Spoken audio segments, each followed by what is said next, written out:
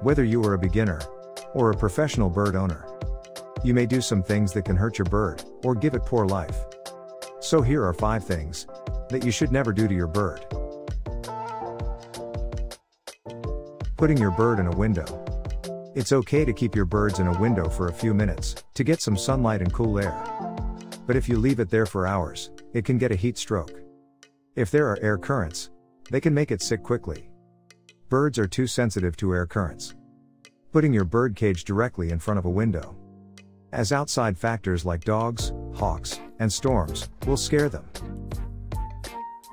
Putting your bird in the shower. One really common method of bathing your bird, that many birds owners do, is taking your bird in the shower with you.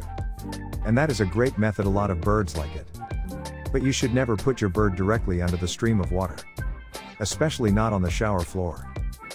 That can be really dangerous for your bird. Because they are inhaling water.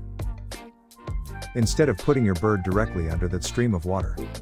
When you take your bird into the shower with you, you should let them bathe in the mist, off to the side on a shower perch. Or on top of the shower on a curtain rod. Meeting other birds. You may get the idea of getting your bird outside. Or you may think to take it with you to the pet store. So it can meet some pet birds. Or taking it to meet your friend birds.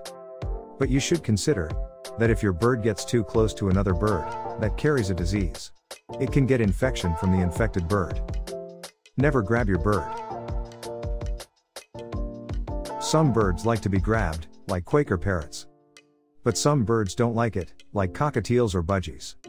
Grabbing your bird can get to losing your bird's trust immediately. Birds hate to be grabbed. And your bird will become hating you and frightened of you. There are some situations that require us to grab our birds.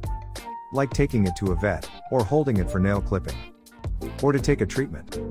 If you had to grab your bird for emergency purposes, you can grab it with gloves, so your bird won't recognize your hand, and won't link them to you. Never touch your bird wings and back. To help your bird build a healthy bond with both, you, and other people. Keep caresses and petting limited to the head, or feet only. And ask others to do the same. The reason for this is that birds' sexual organs are located directly under the wings on a bird's back. If you offer your bird full body strokes, you are actually stimulating the production of sexual hormones. Heading down the back, or under the wings, can lead to a sexually frustrated bird. Or a bird who perceives you as a mate, rather than a companion.